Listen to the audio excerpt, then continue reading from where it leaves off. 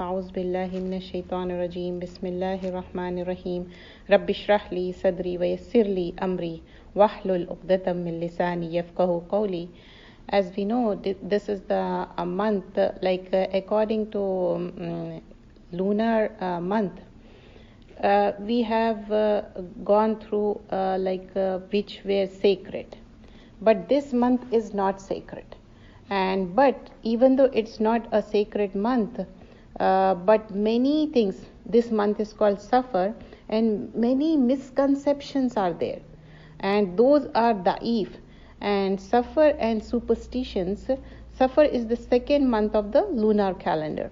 Like we look the uh, uh, like uh, moon sighting and accordingly the moon, uh, lunar calendar will be there. But you know we have seen solar and lunar calendar both of them have 12 months only. Even though they call different names whether you call it january or you call it muharram safar but all has 12 months only. But there is uh, you know change in the days because in lunar it will be 29 or 30 but there it will change like 30 31 and sometimes in feb it's 28 so that's how. There are many misconceptions prevalent among the people regarding this month on one hand bad lucks and omens. People think that it's not correct but people think that way. Uh, bad luck and omens have been associated with this month. This is the thing going on. If you go Indo Park, you know more over there. And on the other hand, self made solutions for such things have been proposed as well, such as not holding marriages in this month. People don't even do marriages in this month, even though in overseas, whether you are in US, Canada, or UK, still people have that misconceptions. Because you know we came from there and we migrated but our heart should get migrated. Do the hijrah towards quran and sunnah. Uh, so what they do? Boiling chickpeas distributing them. They they boil chickpeas and uh, distribute them. That's the trend going on from longer time in indo-pak especially asian countries and distributing them so that the bad omens are passed on to others. Why they are doing? Because you know that bad omen passed to others. So the, the, it's like you know you are uh, taking out the bad stuff and putting in the uh, other's home. I was thinking it's like uh, taking out the trash and putting in the other's home. That's kind of thing and uh, making 365 balls of flour and throwing them in the water. They they uh, put in the water and they think that bad luck will go off. And look at the pollution how much they are creating. And also eating flour is for eating. Like you know which we make roti and uh, chapati which we call. And they're throwing in the water. That's like a, a misuse of the food and the ta'am food we can't waste food. Yeah. and those who waste food they are extravagant. They are musrifin allah don't like musrifin so here we uh, see two things they are distributing like making chickpeas and they are avoiding bad luck. They think that way. It's not according to quran and sunnah and also making the uh, balls and uh, distributing it. And not only that omens are driven away and provision is increased reciting suratul muzammil and they recite suratul muzammil 313 times and uh, considering this month to be hard for the dead and considering 13 of this month referred to as a Tera Tezi. Tera Tezi, they call it in Urdu, Tera Tezi. Tera means 13. And 13 of this month, they not only they are making 313 uh, balls and distributing, and uh, they are 313 times they are reciting Surah Al Muzammil and thinking that bad luck will go off. That's what they are doing from longer time. And this is all not, yes, it's innovation. Bida complete innovation. Why i am saying this? Because many of our sisters and brothers they are not aware of this. They are ignorant. There there are two ways like you know people are either ignorant or they don't want to learn. Like you know they close the door and they say oh our ancestors our forefathers did it so we are doing, doing it. They don't have any dalil or anything which is authentic according to quran and sunnah. When we ask any narration you have? No but now till now i'm just reading what the people are doing. I'm not reading any narration or any authentic you know. If it's so i might have told you oh this is the thing you know. All such uh, superstitions and belief have no basis in islam whatsoever. How can any day or month be unlucky or be a potent of bad omen? When uh, uh, in fact months and years are formed by the alteration of day and night Allah subhanahu wa ta'ala has made day and night as a sign and to help us make the calendar as Allah says. You know, and we have appointed night and the day as two signs. Then we have altered the sign of the night with the darkness, while we have made the sign of the day illuminating day. You may seek bounty from your Lord, and you may know the number of the years and reckoning. This is in Surah number 17 and Ayah number 12. This is in Suratul Isra. Years and reckoning, and we have explained everything in detail with the full explanation. So Allah subhanahu wa ta'ala has also told us the purpose of different stages of the moon. You know how the moon will be bigger, smaller, and finally, uh, and it helps us to mark the beginning and the end of the month. And Allah Azawajal has also told us that there are 12 months. He says, this, in, uh, this is in Surah Al Baqarah, ayah number 189. Then ask you, O Muhammad wasallam, about the new moon. Say, these are the signs to mark fixed periods of time for mankind and for the pilgrimage. We know when they ask about the new moon, and uh, Prophet wasallam cleared that thing. Verily, and also in Surah Tawbah, that is ayah number 36. We did this ayah when we did the uh, regarding Muharram and in the sacred month. So, verily, the number of months with Allah is 12. That time also I explained uh, this uh, ayah. I referred many times, and again I am referring because this is very clear cut ayah which says only 12 months are there. 12 months with Allah in a year. So, was it ordained by Allah on the day when He created heavens and the earth? And uh, it is this revolution of day and night that make up weeks and months and years, which constitutes time regarding which Prophet ﷺ said, Allah Azwajal was said, the son of Adam hurts me for the abuses time. Can we abuse time? No, we cannot abuse time. Though I am time, Allah is saying, I am time. In my hands are all things, and I cause the revolution of day and night. Isn't it? Inna fi samawati. And we read those ayah at the time of tahajjud, last ayah of Suratul Al Imran. Alternation of the day and night. These are the signs of Allah. And night will be dark and day will be bright. And also in some of the ayahs, Allah says, uh, taskunu, for the night, taskunu and naum. And uh, Suratul Naba we see for um, resting, uh, uh, Naumakum Subata, and then you know, rest, peace, have your sleep, and day is for brightening and go and do your work. So we are given the purpose. So here in this Bukhari, this is the, the authentic narration caused the revolution of day and night.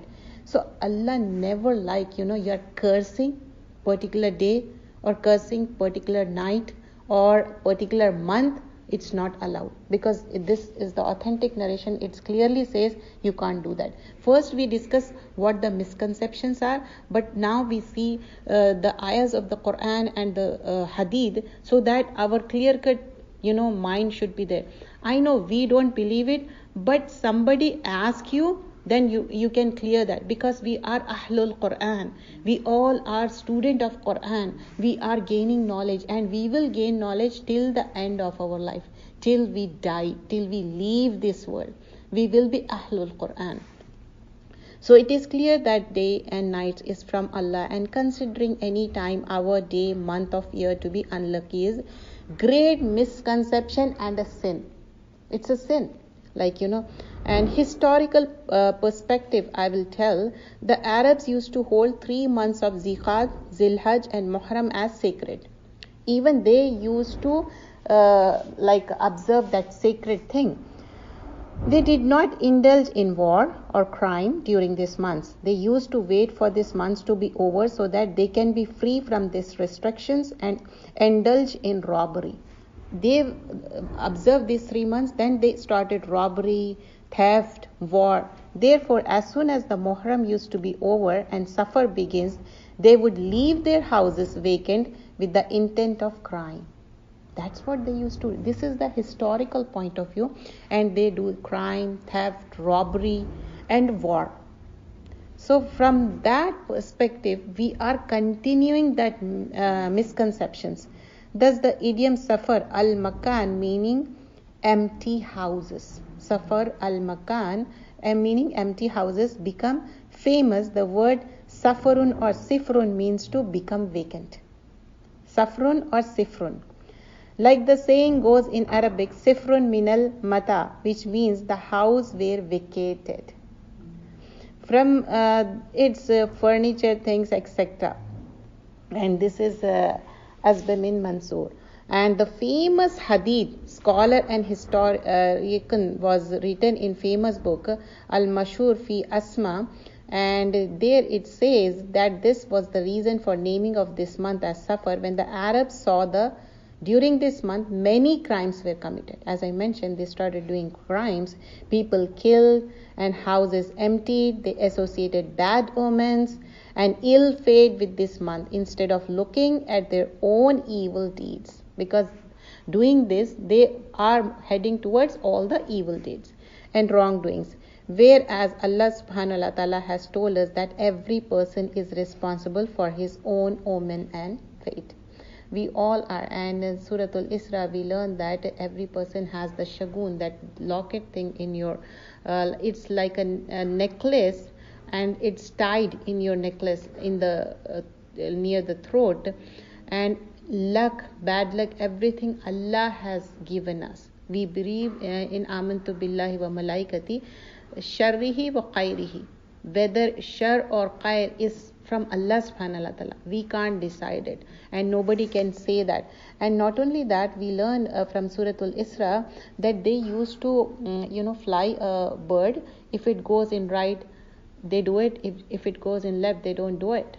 And for every person, we have imposed his fate upon his neck, and we will produce for him on the day of resurrection a record which will uh, encounter spread open. That is Suratul Isra, ayah number 13. Like, you know, that record will be wide open, it says. So every person has his own fate. It is commonly believed that bad omens come from external sources, which is why man tends to blame either some of the other person this we're going to discuss. Other person or animal or an object, a day, month, number, whereas Allah subhanahu wa ta'ala through these ayahs has made it very clear, like you know what I mentioned in Surah Al Isra. Every man's omen and bad luck is due to his own misdeeds and wrongdoings. Allah subhanahu wa ta'ala further says in the Quran, What comes to you of good is from Allah. But what comes to you of evil, O man, is from yourself. This is in Surah number 4, ayah number 79. So, when I was talking about Suratul Isra, Allah has clearly mentioned good luck, bad luck, it's there. So, we can't blame anyone. And now, this uh, uh, ayah clears more when Surah number 4, ayah number 79. So, blaming people. This is the thing we have. You know, if somebody has the mishap in their life, especially women, she got married and they have fight or she got married. She don't have children. Something is lacking in their life. And literally believe me uh, people they completely abandon you. They don't say with your mouth. They don't have that much uh, that, that much uh, uh courage. They don't have that. But you know they behave that. They completely you know abandon it they don't say in the words and they avoid in such a manner that is very hurtful. That really hurts you. Like uh, somebody smack you you will forget. But this kind of behavior you cannot forget. Believe me. And uh, i have seen from very like you know very closely i have seen these things. People they are saying no we don't believe in such kind of things. When it comes at the time of marriages they completely avoid those people and they call only those people those who are happy in their life even though they believe in shirk even though their aqidah is incorrect even though they all believe in wrong concepts. Still they call them because they think that is the good luck and the others they, they are the bad luck. We have seen in suratul isra good luck bad luck we can't blame. It's you know allah decides. But this is how the people are behaving. Not only that particular time particular day. And you know in urdu they call it manhus that's not the way. How can you say? Because allah loves all his slaves and we are slave of allah. When some sometimes when some hatred comes into your mind for a time being because we are human being then just think about it. Oh this is the slave of allah. Allah loves this person. So how can i hate that moment just avoid. Auzu billahi minash shaitan rajim. La hawla wala quwwata. No i can't hate such person. What they are doing hate that thing. That's the thing. yeah. mm-hmm. so if you have anything to say any particular incident you, you are most welcome. Because this is the thing our society is going through. So i including myself i have seen this but i never appreciate that and i never publicize that because if I publicize it, they feel more happy because they think, oh, now they are acknowledging it. Don't you understand? Like, you know, they are doing silently, so we are leaving that path silently and we are behaving as a momina, not as a mushrika or, you know, sometimes it happens such things that you leave that place. That is better for you. Sometimes you feel like, you know, your heart will burst out so don't sit there or don't entertain. Just tell them, okay, sister, we'll leave. Inshallah, see you. That's it. You don't have to say it, and you know. And uh, some of people they said, some people they behave this way. They you know actually go through and they fell sick after that. Definitely, because it it will affect your life. It will affect your health. The whole scenario will go on for days and days so don't go through all that torture. Just avoid them. Tell them in a pleasing manner, even though they are doing very evilness. And leave on Allah subhanahu wa ta'ala. Allah, I witness you. You are watching. You know this thing. And you are the judge. And hasbi Allahu wa ni'mal wakil. Ni'mal maula, ni'mal nasir. Leave that place. Because we are human beings, we can't go through that. And superstition is shirk. A man leaves his house on the way, a black cat crosses his path. he thinks this is a bad omen, therefore return back home. It happens. Believe me, still people does that. They think because of that cat. And I remember like uh, back home when crow started saying something and you know they say, "Oh, some guest will come." Isn't it? The other day I was like talking to somebody and that crow was started uh, talking and I said, "Oh, see, and then she said, You remember in the, like, you know, when we were back home, we used to think that thing. I said, We we never thought that. Like, you know, our like uh, non Muslim friends, they used to say so many times that it affect us because we were around the Hinduism so much. So even we use that vocabulary, you know. Uh, sometimes we uh, we learn so much Quran, still we use those like uh, uh, in Urdu they say jahalat. jahalat yeah. So that jahalat words we use. Oh, somebody said, oh, yeah, yeah, that's what they say. Yeah, yeah, yeah. And also, na blinking of an eye. Many people say, "Oh, my eye is blinking. Something gonna bad bad thing happen." So leave it. It's it's a you know kind of sickness. Something. Yeah, yeah. I know even like you know yeah yes therefore return back home though this seems to be such a minor act however in reality it it really means that he thinks that black cat has the power and authority to change the man's fate this is shirk because it means that the other than allah that is the main thing other than allah the cat also has control and authority over a man's life no Nauzubillah, astaghfirullah. Other common superstitious belief, uh, like prevalent in our society, are seeing someone's disliked in the morning means the whole day will be full of bad luck. You know, somebody is there and you think, you know, you hate that person. And uh, if you saw that person first thing in the morning and you think, no, my day will be very bad. So this this reminds some people they don't open their eyes until unless they come and uh, see their own children they see their own children first thing in the morning and they think that is a good luck. That is also not right. Whether you think good luck or bad luck, either way it's not appreciated. Luck only Allah decides. We, we can't decide anything.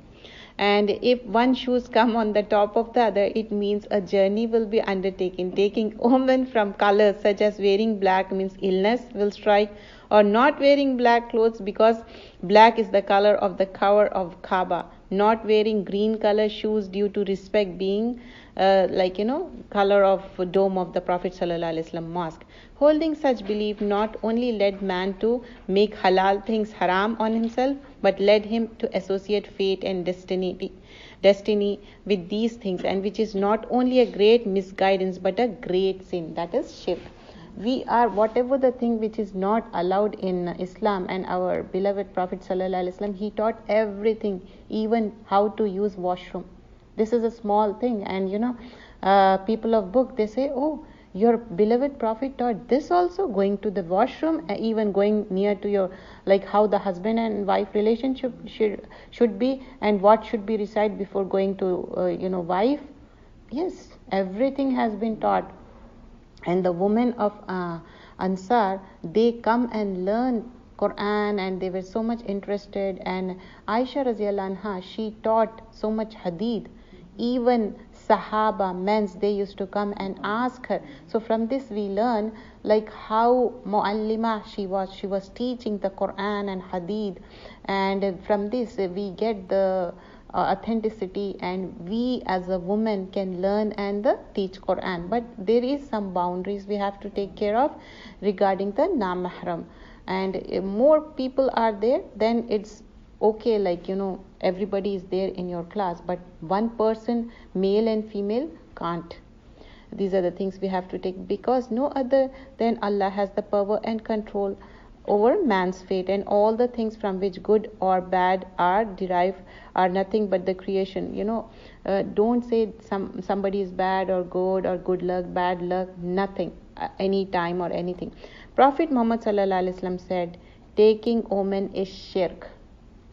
Taking omen is shirk he said it three times three times he said. Because if something is important he used to repeat three times. If we are doing with our children or family that's okay.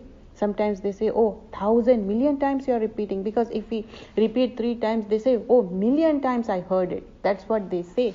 But that's the sunnah every one of us has superstition but allah removes it by the trust in him this is Sunan Abi Dawood. He also said, uh, said, A person who delivered bad luck from something and refrained from doing what he has intent to do, he has committed shirk. You know, whatever you want to do, just do it. Don't think, oh, this is a bad luck, good luck. You know, some people, they are very shaky about it.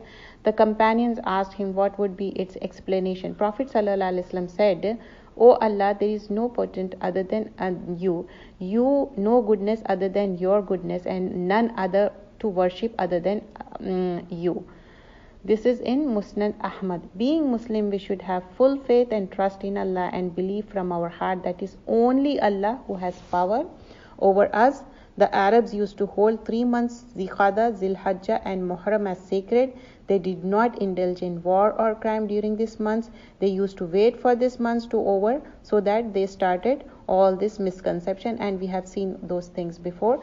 So here the same uh, thing just want to make sure these are all uh, you know shirk and it's our innovation there's uh, nothing related to Quran and Sunnah. We have seen the authentic hadith and the narration in which it's never said you know you have to do certain kind of things. But when we see uh, other uh, months other lu- lunar months like we have seen in uh, zilhajj like oh, how the uh, month of the arafah uh, day of the arafah ninth how much like you know people are uh, uh, relieved from the hellfire. That's the day and we make a lot of dua. Even uh, we respect the day arafah when Makkah and Medina is observing in the Jeddah, and also we observe when our ninth is there because we have our heart is attached to Makkah and Medina. We think, oh, this is the day Arafah is there, and um, and ninth we observe fasting. and only the people who went for Hajj they don't. And we learn from uh, other months also. Uh, in month of Ramadan, of course, uh, Rasulullah fast all the month of Ramadan because it's a fard. After that, he said, as soon as the month is over, then the month of Shawwal, and he said, if you continue six days, that will be okay for the whole of the year. So these are the authentic narration. But as when we compare this with the Safar, month of the Safar, there is no such thing, whether fasting or whether believing in bad omen or any other thing. So we should stop thinking about it. If somebody is saying that, just guide them in a nice manner in a kind manner because don't be harsh on them because they are observing those things from longer time so if they are observing from longer time it will take time to remove it have you ever seen uh, if some spot is very dirty and we are trying to clean it no matter how much spray we put in but still it won't go off. The same thing with the people. Their stubbornness is so much because their heart don't allow. They think oh their forefathers did wrong. It means they will go to hellfire because they come to the conclusion and they think no i don't want to think that they were wrong. We all are human beings only prophets they were guided with allah subhanahu ta'ala. And whenever they de- did anything wrong i don't say mistake because they are innocent. They, they were prophets. We can't say such kind of words for them. If anything goes wrong they they were corrected by allah subhanahu ta'ala and they were guided. But we are human being uh, so we can do mistakes and we are capable of doing mistakes and we are bashar. So bashar can do mistake. But people think if you are learning quran you can't do mistakes still you can do mistake because you are a normal human being. And uswe hasna is prophet sallallahu alaihi wasallam. We are not uswe hasna. We are a, just a person just learning and teaching quran. So here this is the topic i want to share. And then we'll start